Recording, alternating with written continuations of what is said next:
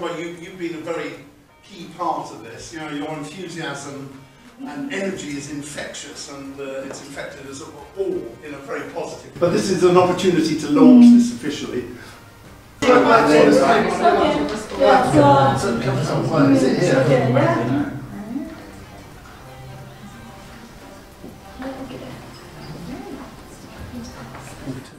Yeah. We've got overseas visitor. Come and, and walk through the campus and, and enjoy the wood. There's dogs off the areas, where people play sport and uh, um, That's it.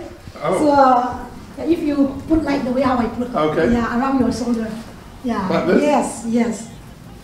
So yeah, that's all. Yeah. Okay. Mm. feel like I'm in academic dress.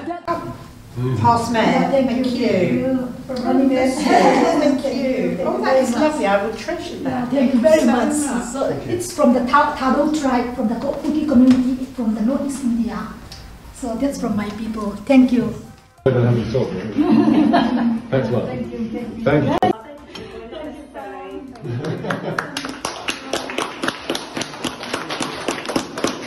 special to us here at Royal Holloway. If you'd like to learn in the heart of a busy campus to have this green space, it's something that we uh, treat as a very precious asset here on campus. Uh, and it's up to all of us to look after it and encourage that uh, biodiversity